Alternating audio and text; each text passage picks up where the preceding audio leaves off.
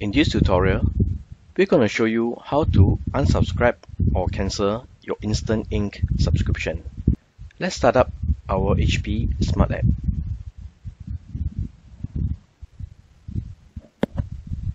This is the printer that we have subscribed to Instant Ink.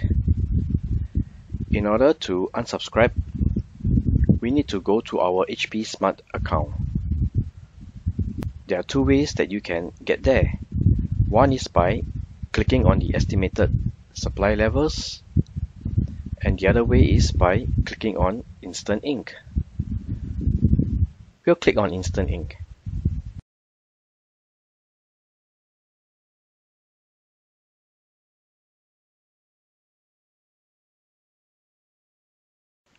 This will bring up an overview of your Instant Ink account. You can see the status of the Instant Ink. You can see your plan details over here. Currently, we are enrolled to the 50 pages per month. And this is the usage that we have printed.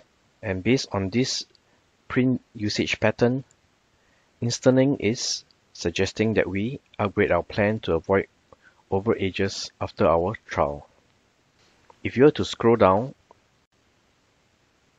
you can see the savings that we will have per year as compared to purchasing HP Original Ink. In order to unsubscribe or cancel, go to Update Plan.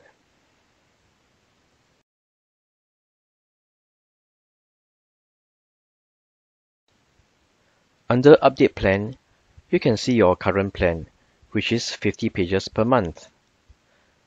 If you were to scroll down, you can see that HP Instant Ink is recommending 500 pages per month based on our usage pattern. Now, to cancel, scroll all the way down. Under the plan details, you can see cancel my HP Instant Ink subscription. Select that.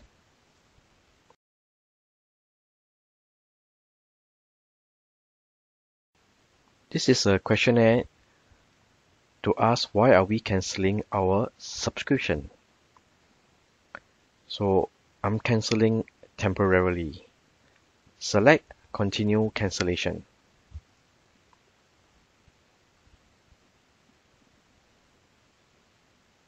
Are you sure you want to cancel? Select continue cancellation.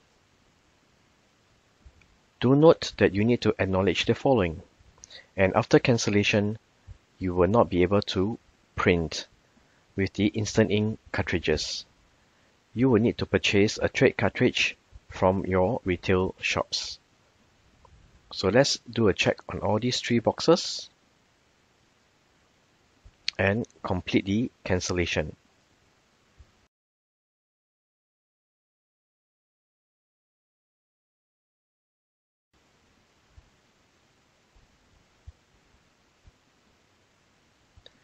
So you can see back on the main page itself, the overview, the cancellation is in progress.